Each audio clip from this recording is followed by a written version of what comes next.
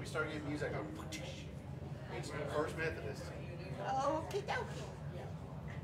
I think I hit her, hit her, uh, can't think of the word, but I hit her style of playing, I think, with one of those. I really, this is my favorite one. I like Oh, yeah, when I her style that, of that playing. Frankie. yeah. Joe talking Raines, about her cool. style I of mean, his playing. stuff, we've done Christmas. Buckley, so this is be directly me. No, I'll have to look and Buckley see. says you're gonna be. I just, I don't know, see if it's in print, I have to remember. Cause I told them I was gonna call somebody else. Oh, yeah, it's three minutes. What? You got three minutes left Oh, I left my ducks on.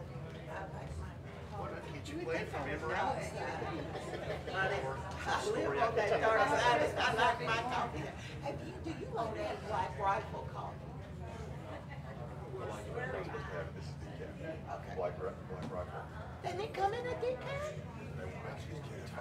Their, whole point is they've got more caffeine in their coffee than anybody else. Well, I mean, I bought.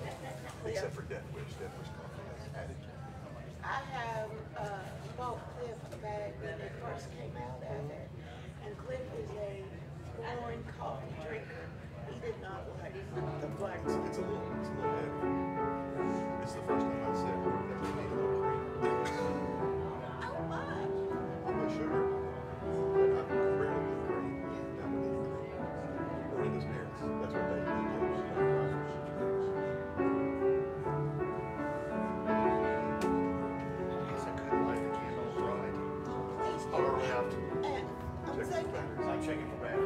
okay.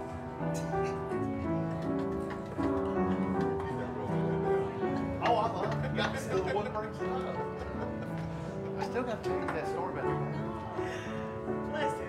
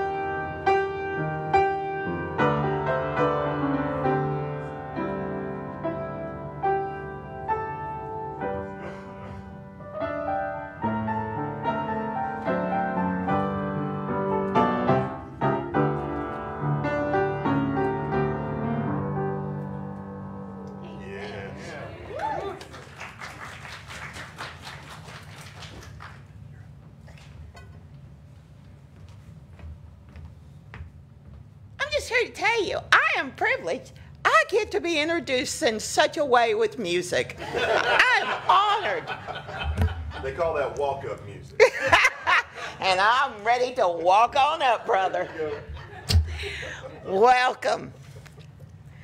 Good morning to you all, and the Lord Christ be with you. So with you. My name is Vanessa Lawson, and I am one of the members here. And it's my honor to welcome you, each of you, here in the sanctuary to Mayfield First. We are so glad to join you today. We also want to welcome each of you who are our radio listeners at WYMC and people watching on Facebook. If you are watching through Facebook, then you can let us know that you're there in the comment section. If you need a prayer request, put it in the comment section. We want to hear from you. We value the hearing from you. Now, we want to say in a special prayer for the COVID 19 illness, for the tornado victims, for Kate Cox, for Hope Smith, and Fran Conley. And of course, we want to keep each and every one of you in prayer, both here and listening on the radio and on Facebook. We want to lift up two of our churches in the Purchase District. This week's churches are Lebanon United Methodist Church and Massac United Methodist Church, and the, the Reverend John Smith. The candle on your right is lit to represent the folks and the pastor at these churches. We ask that you please keep them in your thoughts and your prayers. And we know you will then carry them close to our heart. Now, we want to do some shout outs. We want to shout out to Leslie Tao. We hope you're doing well. We love you and we miss you. We want to do a shout out to the Need Line Food Pantry. This is an organization that provides food to individuals, families, and senior citizens in need. If you or someone you know might qualify for need lines, please, you can contact them or call the church office and we will give you the information for that. We want to shout out to Integrity Group. The Integrity Group is a consulting company helping with tornado relief and navigating the recovery process in our community. A big thank you to them and all of their help during this time. Now, we are so glad you chose to come and worship with us this morning. We want you to ta- take an opportunity to remind you that worship is what we do. Worship comes from the heart. Worship is the spirit that Christ that moves within us. It ain't something you watch. It ain't something you get from somebody else. Together, we are here to pray, to glorify, to give thanks to God through Jesus Christ for all the benefits and blessings that the life that He has given us, we have. Let's remember that. Now, our opening prayer to worship is for all of us to pray. The words are printed in your bulletin. And please say these with us Lord of light and life, you've called us this day to open our hearts, our minds, our spirit to hear your words. Encouragement, healing, and hope. Give us patience and willingness to serve you in all that we do. It's just aim. Amen. All right, let's stand, sing our first hymn, turn to number 578 as we sing the first, second, and fourth verses of God of love and God of power.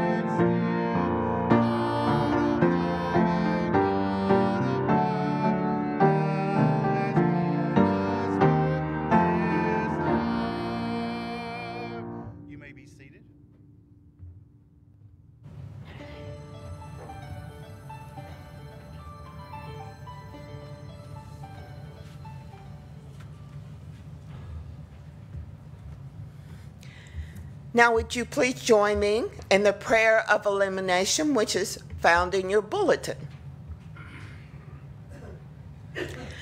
Almighty God, to you all hearts are open, all desires known, and all of you on secrets are hidden. Cleanse the thoughts of our hearts by the inspiration of your Holy Spirit, that we may perfectly love you and that worthy magnify your holy name through Christ our Lord. Amen. Thank you. To, today's psalters. Sorry about that. Too many pages turned. It's taken from Isaiah, the fifth chapter, verses 1 through 7. Let me sing for my beloved my love song concerning this vineyard. My beloved had a vineyard on a very fertile hill. He dug it and cleared it of stones and planted it with choice vines. He built a watchtower in the midst of it, and he hewed out a wine vat in it. He expected it to yield grapes, but it yielded wild grapes. And now, inhabitants of Jerusalem and people of Judah, judge between me and my vineyard. What more was there to do for my vineyard that I have not done it? Eh, when I expected it to yield grapes, why did it yield wild grapes? And now I will tell you what I will do to my vineyard. I will remove its hedges and it shall be devoured. I will break down its wall, and it shall be trampled down. I will make of it a waste. It shall not be pruned or hoed. It shall be overgrown with briars and thorns. I will also command the clouds that they rain no rain upon it. For the vineyard of the Lord of hosts is the house of Israel, and the people of Judah are his pleasant planning. He expected justice, but saw bloodshed, righteousness, but heard a cry. This is the word of God for the people of God. Thanks be to God.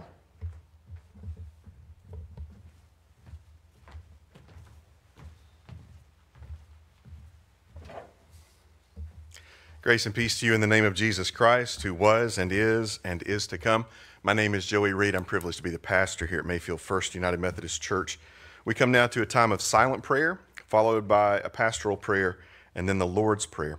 The silent prayer is a chance for you to listen very carefully for what it is that God may be saying to you in these moments. And it's also a chance for you to say those things that no one else needs to hear yet, either because you're keeping a confidence or because you just don't have the words to say it out loud, even to God, just yet. God hears our groanings and turns those words or turns those groanings into words that God can understand so that God can hear and answer our cries. The Lord's Prayer will follow the pastoral prayer, and I invite you to pray that along with me. Let us go to God now in silent prayer.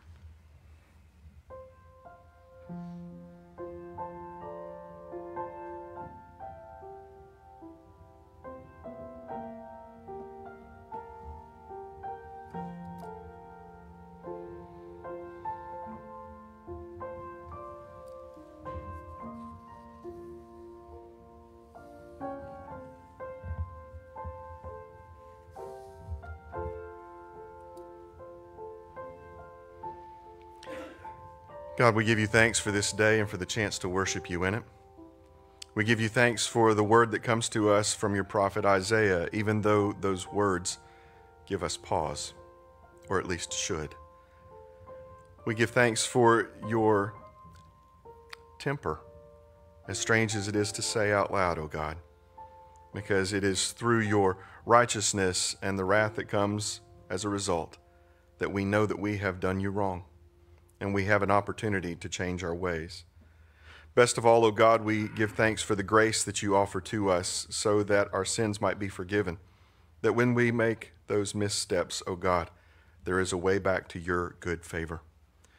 We ask now, O oh Lord, that in the midst of these difficult times, that you would teach us where we have made mistakes, and that you would help us to see that sometimes the difficulties that we face are a result of the way the world works rather than the result of your wrath being poured out upon us. Help us to know the difference. Help us to understand when we have made you upset. Help us to understand when we have stepped away from what you have called us to do.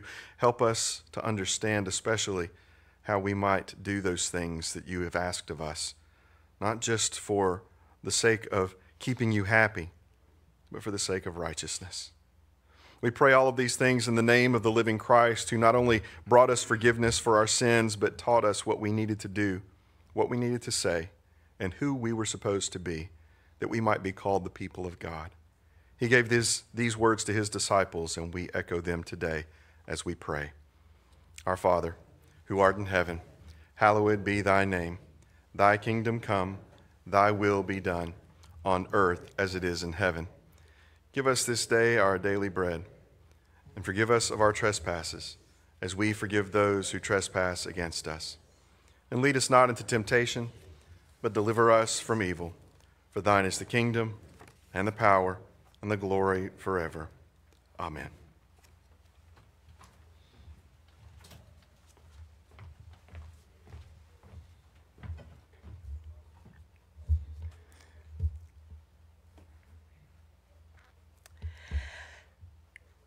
Our next scripture reading will come from Psalms 80, the Psalter, verses 1 and 2, and then 8 through 19, and can be found in the hymnal on page 801. Your part will be in bold. Verses 1 and 2 reads, Give ear, O shepherd of Israel, you who lead Joseph like a flock you who are enthroned upon the cherubim and shine forth in the presence of Ephraim and Benjamin and Manasseh. Stir up your might and come to save us.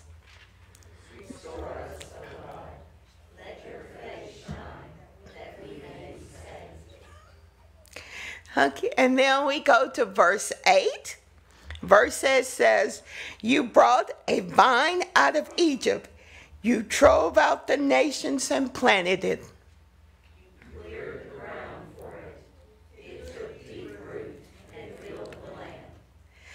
The mountains were covered with its shade, the mighty cedars with its branches.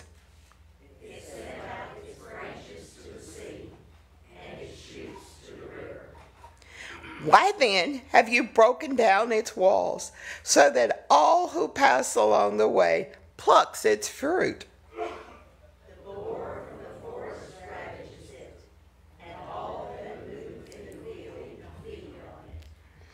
Turn again, O God of hosts, look down from heaven and see.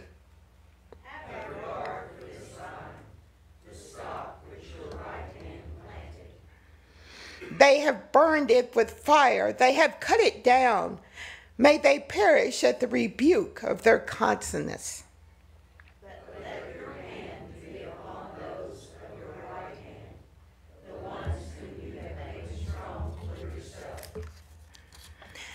Then we will never turn back from you. Give us life, and we will call on your name.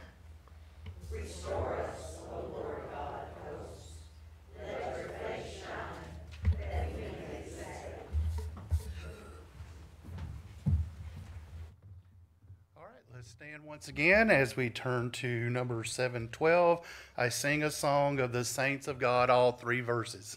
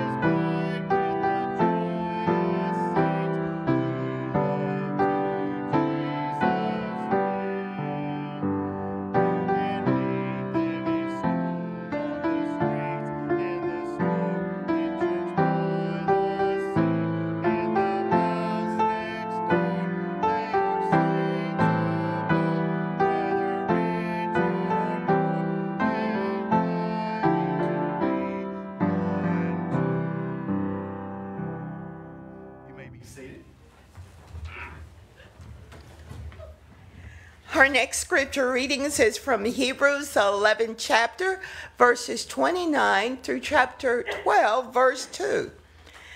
By the faith, the people passed through the Red Sea as if it were dry land. But when the Egyptians attempted to do so, they were drowned. By faith, the walls of Jericho fell after they had been encircled for seven days. By faith, Rahab the prostitute did not perish with those who were disobedient, because she had received the spies in peace. And what more should I say? For time would fail me to tell of Gideon, Barak, Samson, Japheth, of David and Samuel and the prophets, who through faith conquered kingdoms, administered justice, obtained promises, shut the mouths of lions, quench the raging fire, Escape the edge of the sword, won strength out of weakness because mighty in war put foreign armies to flight. Women received their dead by resurrection. Others were tortured, refusing to accept release in order to obtain a better resurrection.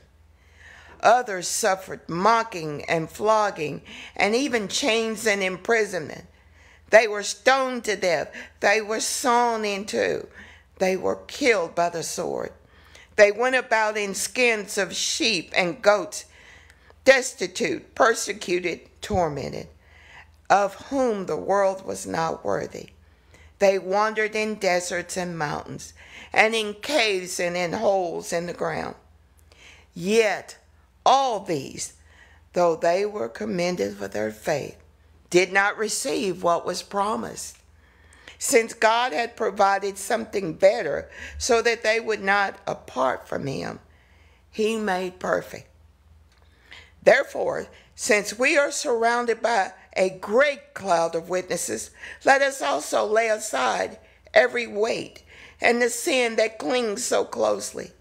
Let us run with perseverance the race that is set before us, looking to Jesus, the pioneer and perfecter of our faith who, for the sake of the joy that was set before him, endured the cross, and disregarding his shame, has taken the seat at the right hand of the throne of God. The grass withers and the flower fades, but the word of the Lord endures forever.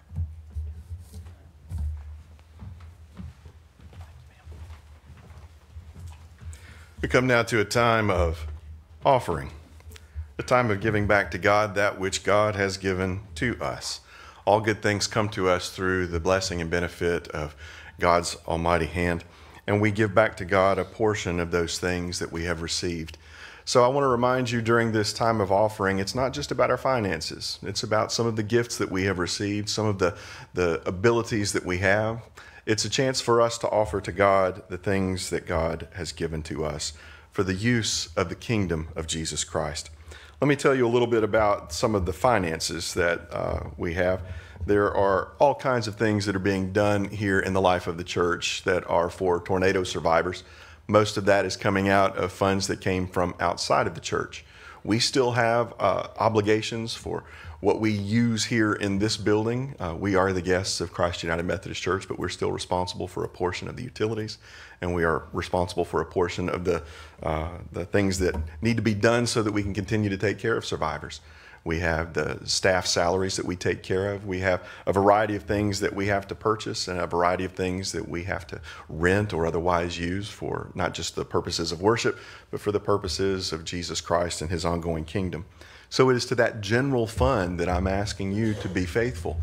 If you are a member here and you have made your covenant to be supportive of those things that happen here, now is your chance to contribute financially to those things. And if you are a guest here and you are trying to find a way to honor God, you can make an offering here today that will also honor God. If you're here in the sanctuary and not listening online or on the radio, there's a way that you can give that is simple and easy. You simply find the offering box that's at the front of the sanctuary or at the back of the sanctuary and leave your offering there. If you are if you prefer to do it online, you can use mayfieldfirst.com and click on the giving tab and leave your offering with us there. There's also a way that we're still trying to figure out how it works, but we are assured that it is effective because we have seen its results. You can text the word give with a dollar amount to the telephone number 364 999 4480. And you can also mail any gift that you have to Mayfield First United Methodist Church, Post Office Box 766, Mayfield, Kentucky 42066. Over the past few weeks, we have seen an increased number of folks who are in need of the help that the church is offering. And we have seen a great increase in the amount of hours that the church staff is spending helping to take care of those folks. If you would like to be a part of that process, carrying someone to the grocery store or taking someone uh, shopping to, to purchase new clothing or to, to refurbish the, the items that they lost in the, in the storm, uh, some folks are still moving into new places, and we have folks who are taking them to make those those shopping trips, if you will. If you're able to do something along those lines, would you give Cindy a call in the church office and let her know that you are available? You can also just drop by, and we might have a job for you waiting as you arrive. But in all these things, we are asking of each other to be faithful to God, to give back to God some of the things that we have received, whether it's our time or our talents, our gifts our service, our witness, our finances. It's a chance for us to be faithful. So, as we sing the words of the doxology, would you make it clear in your heart that that's what you wish to be? Faithful. Stand as we sing this song.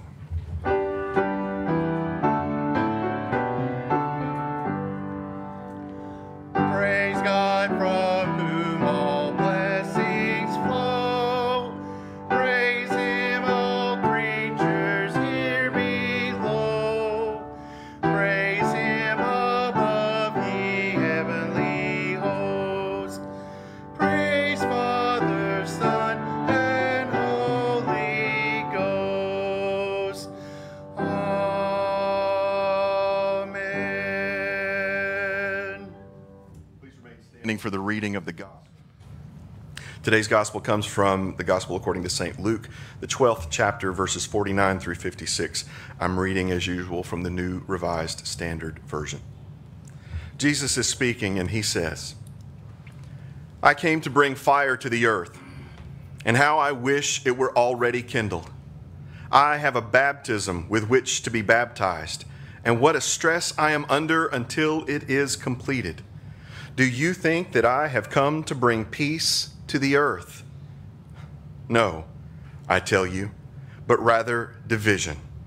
From now on, five in one household will be divided, three against two, and two against three. They will be divided father against son, and son against father, mother against daughter, and daughter against mother, mother in law against her daughter in law, and daughter in law against mother in law. He also said to the crowds, When you see a cloud rising in the west, you immediately say, It's going to rain. And so it happens. And when you see the south wind blowing, you say, There will be scorching heat. And it happens. You hypocrites, you know how to interpret the appearance of earth and sky, but why do you not know how to interpret the present time? This is the word of God for you who are the people of God. Thanks be to God.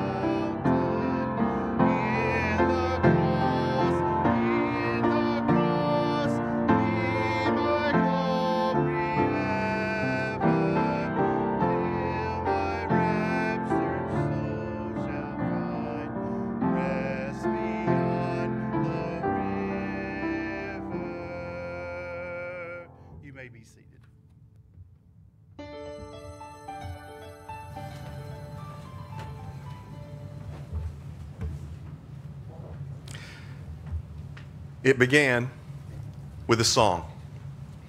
The year was 1977. I was sitting in the back seat of my parents' car. I was going to turn six that year. And on the screen, a flourish of trumpets, a fanfare, a song that would come to be known as the beginning of something that was going to be wonderful every time I heard it. We were at the drive in in Madison, Tennessee, and we were watching one of the first screenings at a drive in theater of Star Wars. I know, right? Buckley knew as soon as I said 77. He was back there humming the song, and I'm like, oh, can't ever get anything past him. It began with a song. I heard music as I looked out the window of the cafeteria at Lambuth University, and I saw a cute blonde girl walking towards me down the sidewalk.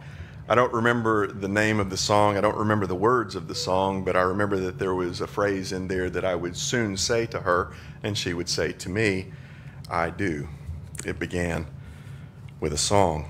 I won't tell you what year that was. You can do the math and figure all that stuff out for you. Today's lectionary began with a song. And this song is not one that is sad, but it became sad. As you read through what this song is about, it's a popular song from the time of Isaiah and before. It's a song about a beautiful vineyard. It's a song about how nature brings forth the, the product of the vine. It's a song about how when you take care of something, it produces fruit. And yet, just a few lines into the song, Isaiah stops singing and he starts the complaint because he is speaking on behalf of God. He's speaking on behalf of God when he says, Now, inhabitants of Jerusalem and people of Judah, why don't you judge what's happened between me and my vineyard? What more was there to do for my vineyard than I have not done in it? He goes on to talk about how the wild grapes that were produced were not fit for what was intended. He goes on to talk about what will happen to the vineyard. I will remove its hedge, and it will be devoured. I will break down its wall, and it shall be trampled down. I will make it a waste. It shall not be pruned or hoed, and it shall be overgrown with briers and thorns. And I'll command the clouds to rain no rain upon it. This is not a happy vintner. This is not a happy song. Not anymore. We move to the Psalter and we hear the same sorts of complaints, but this time they come from the people. We hear the people of God asking how much longer it will be that the rain does not fall from the clouds. How much longer will it be before the hedge grows back up around the vineyard? How much longer before God withdraws God's wrath. We don't like to talk about God's wrath. We don't like to talk about God withholding God's gracious forbearance. We don't like to talk about an absence of God's mercy. It makes us nervous because too many people in our lives have used that wrath to make people think that if they didn't get scared straight, they would burn in hell for the rest of their days. But I'm here to tell you that there is a direct correlation and causality between the way we act, the way we speak, the way we are as human beings. And it takes more than our faith to establish the kingdom of God in this place. And if you have read the end and you understand how this story comes to a conclusion, that kingdom is coming here. And we are being asked to participate in its arrival and in the preparation that goes into allowing that kingdom to exist here in this place. We are products of the vineyard. We are bearing the fruit that God is asking of us. But every once in a while, we should be asking ourselves are we bearing the fruit that we are supposed to bear, or are we just bearing enough to get by? And in some cases, we have to ask are we even bearing fruit? There are many, many times in the course of the ministry that I've been privileged to, to be a part of, the United Methodist Church, that I've looked around to see that we're not doing nearly as much as we could be doing. I saw, I saw a wonderful meme on social media. It was about football or maybe baseball. It wasn't clear. And it said something along the lines of there is in most communities a small group of people who know how to play every play, to move the ball in the direction it needs to go, to perform every athletic feat that has ever been accomplished perfectly, to understand the strategy of every game that has ever been played. But the problem is, you see, we can, well, we can't get that person to put down his popcorn and come down out of the stands to actually participate to get that thing done.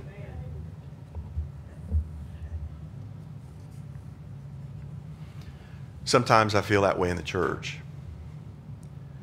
Sometimes I've been the guy with the popcorn.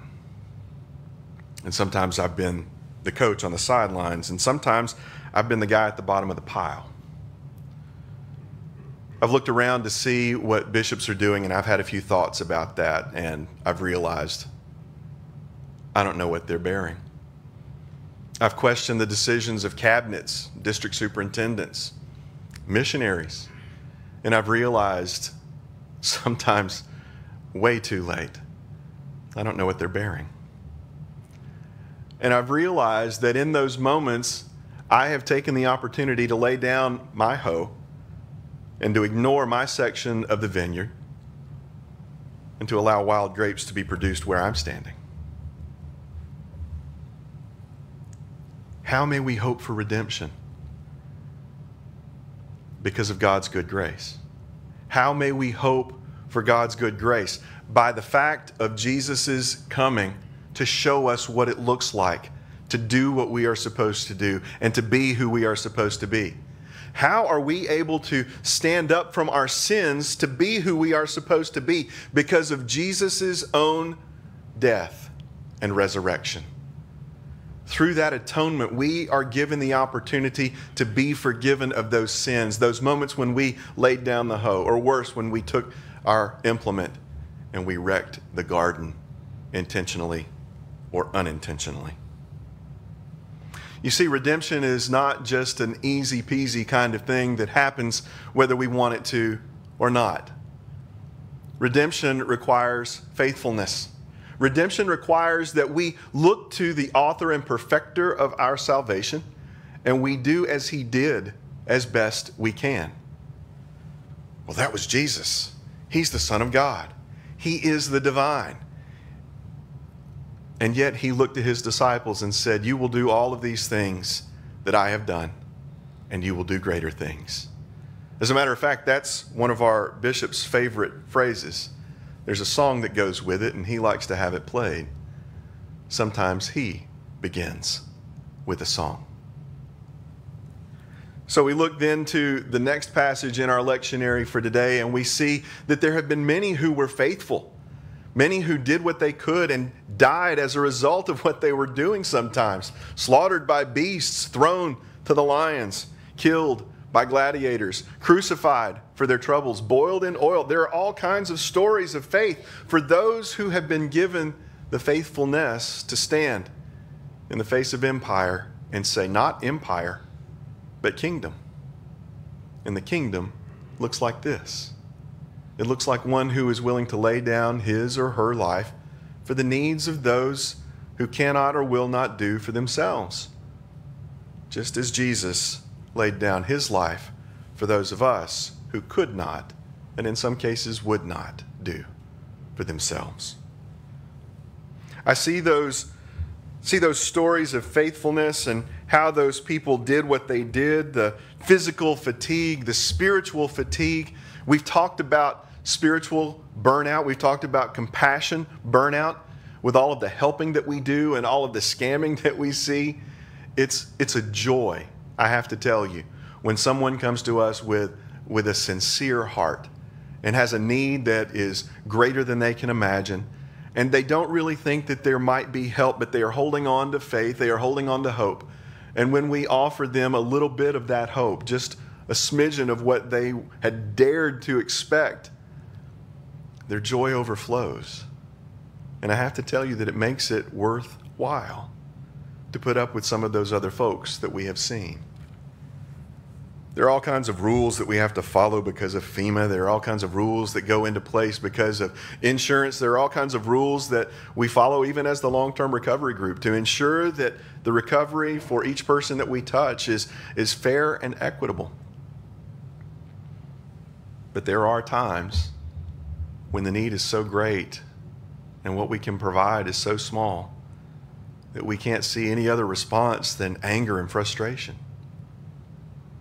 And yet, time and again, we are offered gratitude, sometimes in a language we can't understand because English is not their first language. Physical fatigue, spiritual fatigue. And then we come to the gospel reading and we start to think, oh, well, here's where Jesus is going to step in and make it all right and tell us everything's going to be better. And instead, Jesus gives us the hard answer that there are no easy answers. How many of you were brought to faith with easy answers? How many of you were told that all you have to do is say the right thing and believe the right thing and come to the altar, kneel at the chancel, surrender your life to God, and everything would be perfect from there on out? When I came running to the chancel rail at a very young age, I believed that promise. And I have come to understand in times since that the life of a disciple is not always easy. It sometimes requires hard work. It sometimes requires more of me than I'm willing to give. It often requires more of me than I'm able to give. But I've been told after many years of trying to listen to folks who are smarter than I am, that it is exactly in those moments that God's glory can be seen. Because we are able to accomplish more than what we should be able to do. Because of what God gives to us, because of what God provides for us, because of what God sends through us, through the power of the Holy Spirit, the Spirit of Jesus Christ, the Spirit that has been offered to us. And again and again, I am told, no, preacher, that's not how it works. It's faith, not works, that provides us with our salvation. I would say to you and to them, you've got the timeline all mixed up. Salvation is what comes to us as a result of our faith in Jesus Christ. Jesus provides every bit of that. But salvation means wholeness. Salvation means that we have been made whole, we have been redeemed. We have been drawn up out of the miry clay and we have had our feet set up on the rock where we now have purchased to stand. And when I'm talking about work, when I'm talking about faithfulness, I'm talking about what you do from that point on. Harry Emerson Fosdick wrote The Meaning of Prayer many years ago. And he quotes the mystic Meister Eckhart God can as little do without us as we without him. Let me read that again because the first time I read it, I thought I had misunderstood. These words are not possible. God can as little do without us as we without him. Fosdick goes on to say if at first this seems a wild statement, we may well consider in how many ways God's will depends on human cooperation. God cannot do some things unless people think. He never blazons his truth on the sky that people may find it without seeking. Only when people gird their loins, the loins of their minds, and undiscouragedly give themselves to intellectual toil will God reveal to them the truth, even about the physical world. And God cannot do some things unless people work. Whew. Harry Emerson Fosdick, you're out on a thin branch, my brother. But listen to what he says. Will a person say that when God wants bridges and tunnels, when God wants the lightnings harnessed and the cathedrals built, that he will do the work himself. Huh. Fosdick drives the point home with this sentence, and it's one that I hear in my mind on a fairly regular basis. That is an absurd and idle fatalism. God stores the hills with marble, but he never built the Parthenon. He fills the mountains with ore, but he never made a needle or a locomotive. Only when people work can some things be done. Recall then the words of Stradivarius, the maker of violins, interpreted by George Eliot. When any master holds between chin and hand a violin of mine, he will be glad that Stradivari lived, made violins, and made them of the best. For while God gives them skill, I give them instruments to play upon, God choosing me to help him. If my hand slacked, I should rob God, since he is fullest good, leaving a blank, a void, where a violin might have been. Now, if God has left some things contingent upon humanity's thinking and working, why may He not have left some things contingent upon the prayers of God's people? The testimony of the great souls is a clear affirmative to this. Some things never without thinking, some things never without working, and some things never without praying. Let me be clear Harry Emerson Fosdick is not saying that God is incapable.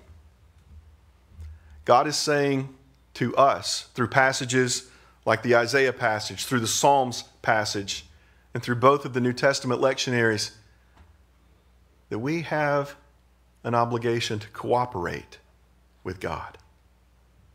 And that there is an expectation that we will lift the hand, that we will at some point strain our minds at some point that we will bend the knee, thinking, working, and praying.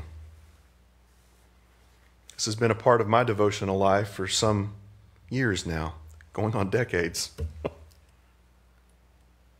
and yet, when I come to that one, it's hard for me to reconcile. Because we think of redemption as something that God does and that that's the end of the story. But why are you redeemed, friends? To what end? For what purpose? Why are you made whole? It is so that you can work and will and pray in this world so as to make visible the kingdom of Jesus Christ, so that you can reach a hand out to the person who was once or who is in the place where you once were.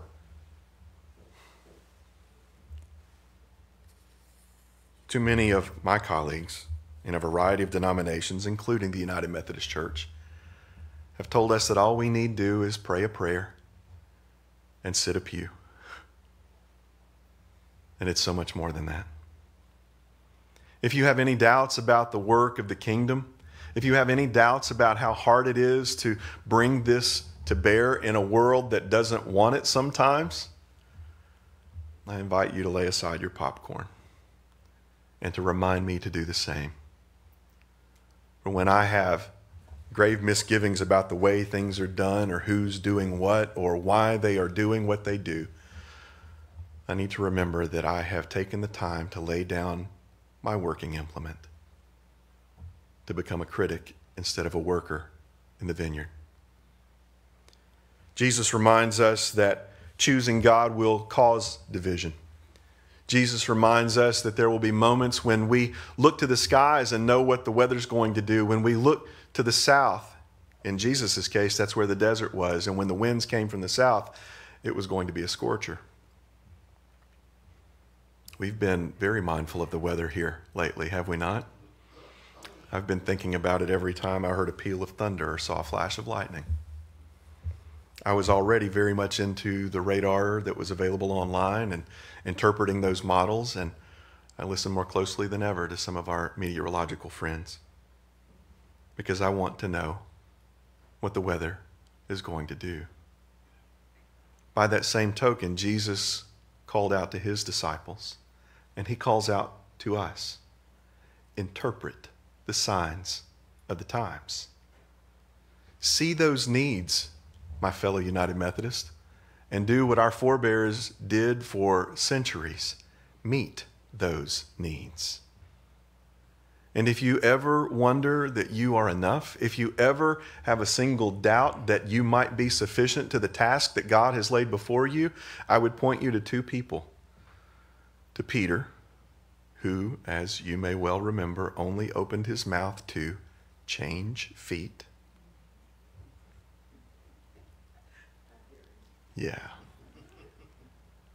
And I would point you to myself. The mistakes that I've made, the moments that I've missed, the opportunities that I've let go by because I did not recognize them as such. And I would encourage you with these words if Peter can do it, so too can you. And if I've made it this long in a pulpit with a stole around my neck and nobody strung me up or told me I needed to go sell cars for a living instead, you can do this too. It might not be the preaching task, but it will definitely be the task that involves your sacrifice, your self giving, that comes from a place that we know as redemption, where God has drawn you up out of that miry mud and clay and put your feet upon the rock so that you have traction, so that you have purchase, so that you have leverage make a difference, you who are redeemed. In the name of the Father, and of the Son, and of the Holy Spirit. Will you pray with me?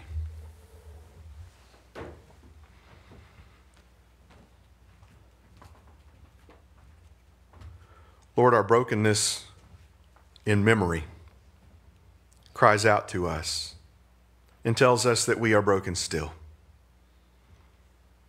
Sing your song of love over us. Remind us that our discipleship too began with a song. A song of your love for us, a song of your expectation, a song of your redemption. And as we look to the future to see what it is that we might do about that future, to bring nearer the kingdom, and to draw near those who have never heard of such a thing.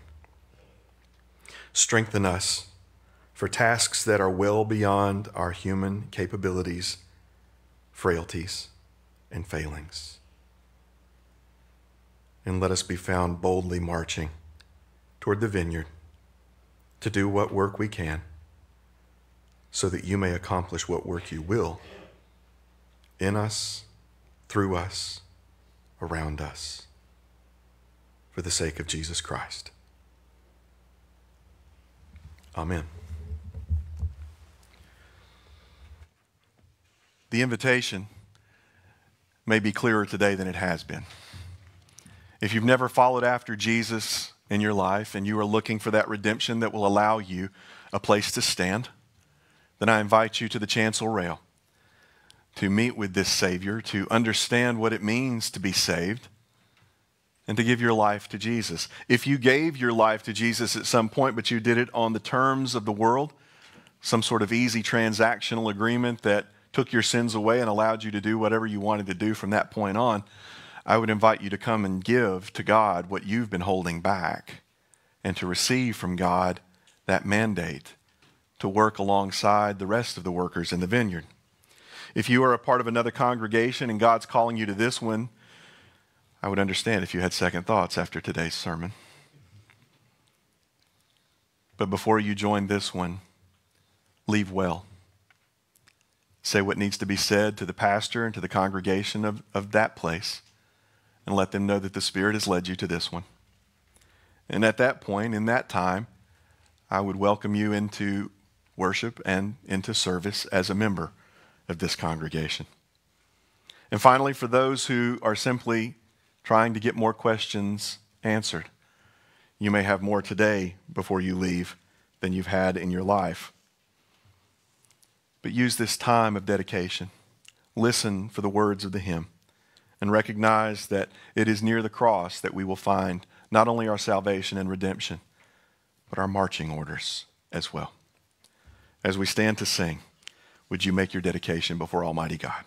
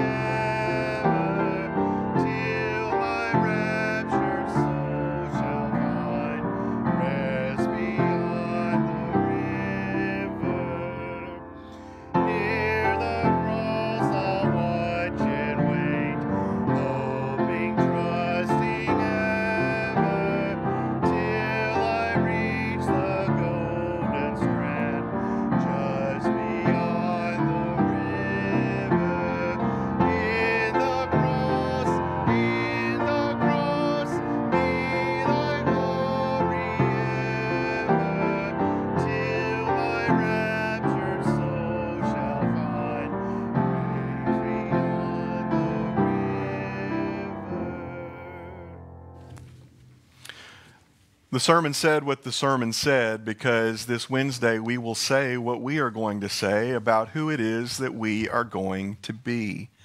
If you'll remember, if you participated in the last listening session, we talked about all the things that we wanted to do, and we got stuck on the place where we asked the question, and now who's going to do it? It was a difficult session. When we come again to that listening session, I will not be leading it. I've invited my friend, your friend, the Reverend Dr. Johnny Jeffords, to come in and to be a, a, fair arbiter of what it is that we say so that I don't have my thumb on the scales, so that he has an ability to listen to what you are saying, to what you are committing to, so that as we go forward, we have something to share with an architect in the next few days, the next few weeks or months. But it will be all about who we are called to be and how faithful we are in responding. Because though it's been said many times that Jesus is our personal Savior, that is true. Jesus is also the Savior of a community of faith. And how we work together in that community of faith will determine the success of our congregation, our willingness to work with our fellow members of the body of Christ in other congregations, regardless of their denominational status. Be thinking about this. And if that casts the sermon in a slightly different light, I'm okay with that. God's forgiveness isn't as personal as we sometimes make it out to be. It took Jesus to show us that we must decide who it is that we're going to worship, who it is that we're going to serve, and to recognize that not everyone will choose wisely. Speak the words of the benediction to one another, recognizing that we go out into the world, a world that is filled with brokenness, but we bring hope. We bring a new way of being, a new Savior to serve, and the understanding that Jesus empowers us to make a difference wherever we go. The words are there in your bulletin. May the peace of the Lord Christ go with you wherever he may send you. May he guide you through the wilderness and protect you through the storm. May he bring you home rejoicing at the wonders he has shown you. May he bring you home rejoicing once again into our doors. Go in peace to serve your neighbor and thus serve your king. Amen.